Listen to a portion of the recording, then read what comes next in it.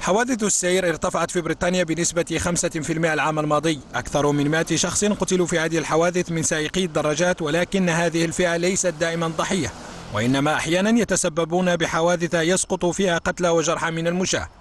هذه الأرقام دفعت بالحكومة للبحث عن إجراءات لتقليص عدد الحوادث التي يرتكبها سائقو الدراجات بنوعيها الهوائي والناري. لا تشمل معاقبة مرتكبي الحوادث غرامة أو سجنا وإنما ضمن إطار الوقاية خير من العلاج إنجاز التعبير.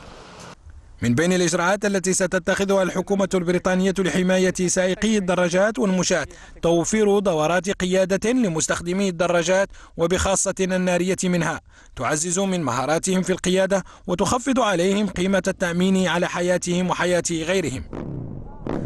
لن ينتهي الأمر هنا بالنسبة للشرطة البريطانية فستكون هناك مراقبة لسائقي الدراجات على غرار السيارات ولكن ربما لا تكون هذه الإجراءات كافية حيث أن السرعة التي يسمح للدراجات بالسير فيها تبقي احتمالات الخطر قائمة.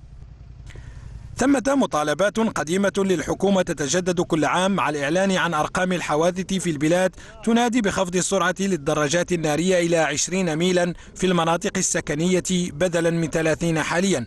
ولكن هناك من يعارض هذه المطالب بحجة أن السرعة الحالية منطقية ولا تتسبب بازدحام المرور.